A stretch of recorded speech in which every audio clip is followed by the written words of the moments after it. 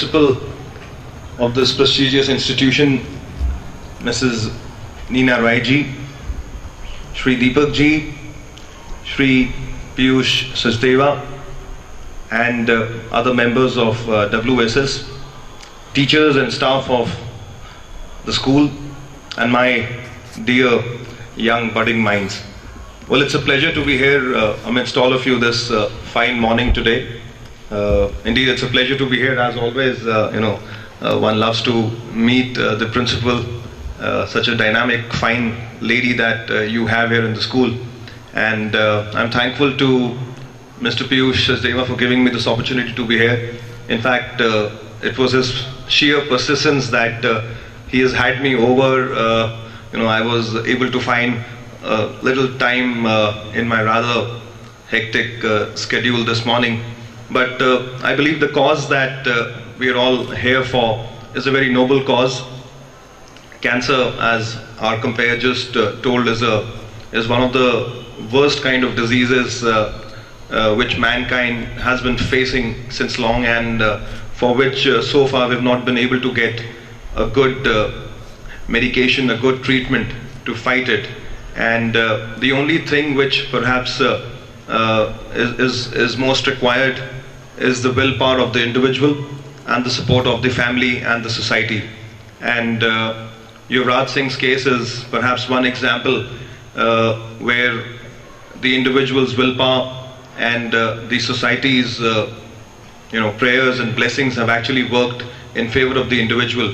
And uh, uh, there would be innumerable such cases where the individual has actually fought back his life from the jaws of death. And uh, you know, so so whatever we can do to further this noble cause uh, is is uh, very much essential. And I'm glad that uh, WSS here in Karnal has uh, taken up this initiative to not just promote sports, but also to lead this fight against cancer in the district. I'm happy that this initiative has been started here, and my best wishes, of course, to the to the uh, foundation which is working on this.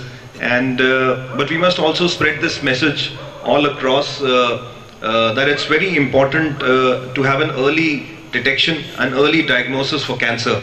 You know, many a times we take uh, our ailments, our diseases for granted. Uh, we don't consult the doctor. Uh, we take uh, medicines from the chemist uh, on our own without any prescription, which is which is quite wrong, which is a bad practice, and which we need to discontinue. And since we have our young children over here, I would definitely like to advise you that whenever your parents, uh, you know, give you some kind of medicine, you must tell them, you must ask them that has the doctor given a prescription for this? You must ask your mom and dad.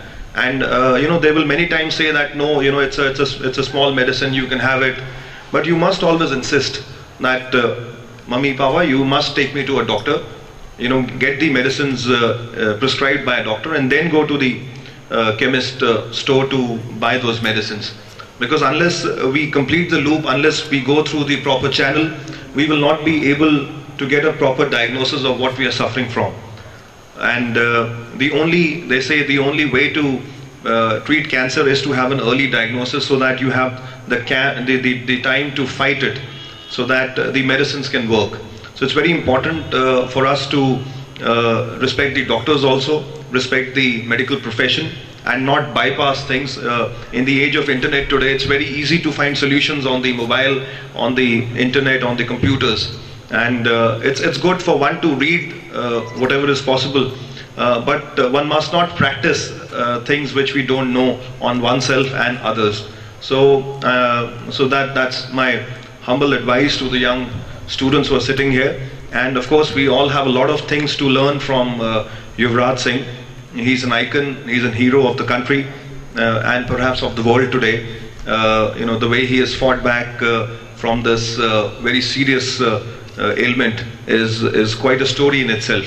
And we must get inspired and we must perhaps take this lesson that one should never say die, one should never uh, call it a day. There's always, uh, you know, ray at the end of the tunnel, and uh, you know, if you have a little willpower, you can definitely get through any kind of uh, situation that you are facing. Uh, so, uh, with these words, I would like to thank Mr. Piyush Sachdeva for having me over this morning and my gratitude also to the principal of the school and uh, to the organizers for having organized this uh, lovely function. Best wishes. Thank you. Jai Hind.